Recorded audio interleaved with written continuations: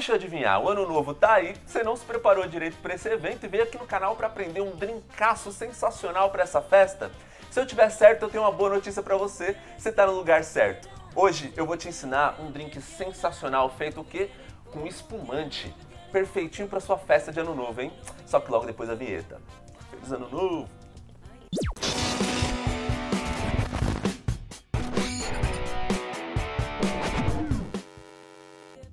Eu sou o Tato, seja muito bem-vindo de volta aqui ao canal Showtime, de volta ao balcão do Red Show Pub. E hoje eu quero salvar a tua festa de ano novo te ensinando um drinkaço feito à base de espumante. Bora?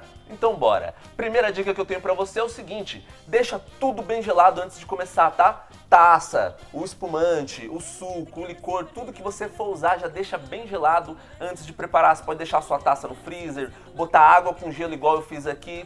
O importante é estar tá tudo bem gelado porque esse drink não vai gelo, nem na preparação, nem no finalização, nem na, na, apresentação não vai gelo. Ele é todo feito sem nada porque é um drink à base de espumante, a gente não bota gelo no nosso espumante, beleza? Então, com tudo bem geladinho, a gente pode pegar aqui, ó, caso você tenha gelado com água e gelo, dispensa, deixa escorrer bem para não sobrar água aqui dentro. E a gente pode começar a preparação do nosso coquetel. A primeira coisa é adicionar suco de cranberry, ou você pode utilizar um suco de frutas vermelhas que você tiver mais fácil aí. Caso você não encontre cranberry, pode utilizar morango, suco de cereja, como você preferir, tá? A gente vai adicionar aqui 20 ml. Beleza, foi para dentro. Tudo já bem geladinho. Agora é licor de laranja triple sec. Tá? Você pode utilizar a marca que você tiver mais fácil aí. E vamos colocar aqui 15 ml desse licor. Que maravilha. Agora está na hora do espumante. Eu gosto de já dar uma pré-misturadinha no meu licor, no meu suco, antes de colocar o espumante. Por quê? Porque eu não vou ficar mexendo demais depois de colocar o espumante para não prejudicar o gás dele. E como o licor e o suco têm densidades diferentes, é legal que eles já estejam bem misturados para poder receber o espumante. Perfeito, agora vamos para a parte principal desse drink, o ingrediente principal. Para colocar o espumante aqui, é legal a gente dar uma tombadinha na taça e colocar ele com bastante cuidado aqui, ó, bem no cantinho. Com cuidado para não ficar espumando demais, para ele não ficar soltando bolha demais e não perder todo o gás dele.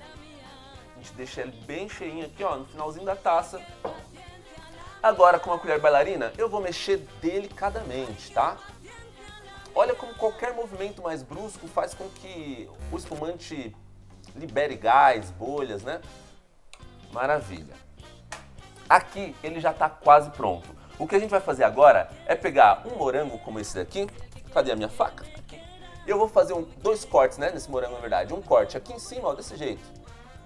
Ó, de comprido, tá? E um outro corte virando ele de lado, eu vou cortar aqui agora. Beleza? O que a gente quer é isso daqui, ó uma tira do morango, uma parte mais estreitinha do morango. Que a gente vai pegar uma faca e fazer um corte aqui, ó, na diagonal, para dentro, tá? Nessa diagonal aqui, ó. Não corte demais. É só o suficiente para poder prender esse morango aqui no cantinho da taça e ele ficar bonitão ali. Acabou? Não acabou ainda, tá? A gente vai pegar agora uma laranja, cadê minha laranja? Aqui e vai fazer uma guarnição também com a casca dela para aromatizar bem legal esse coquetel. Vamos pegar aqui, ó, tirar a casca dela. E eu quero tirar uma tira um pouco mais longa para poder fazer essa guarnição. Show de bola. Beleza? Vamos cortar aqui essas partezinhas aqui para ela não ficar toda disforme. E o que a gente quer aqui é uma tira da casca dessa forma que a gente vai pegar em cima da taça, tá? E vai começar a torcer ela. Na mão mesmo, tá? Vamos torcendo. E você vai notando que ele vai começar a esguichar é, óleos da casca. São óleos essenciais aqui da casca da laranja que são extremamente aromáticos, perfeito para deixar o seu drink com um aroma incrível. Maravilha, ó. Depois se estiver bem torcidinho aqui em cima, ele vai virar uma molinha desse jeito aqui, ó. E a gente põe sobre a taça, dessa forma aqui. Esse, meus amigos, é o teu drink de ano novo. É o drink que vai fazer todo mundo se apaixonar pela tua coquetelaria durante essa festa da virada, hein? Vamos provar, ver se ficou bom? Ver se ficou bom? Vamos lá, hein? Ó, o aroma já está incrível. A laranja fica totalmente predominante no aroma. E ela vai estar tá aqui dentro também por conta do licor, né? Vamos lá. Hum. Excelente. Excelente. Esse drink é super suave, ele é ótimo para você poder servir para tua família inteira ali na festa, para tua tia, para tua avó. Todo mundo vai conseguir beber esse drinkzinho super suave, super delícia e super saboroso.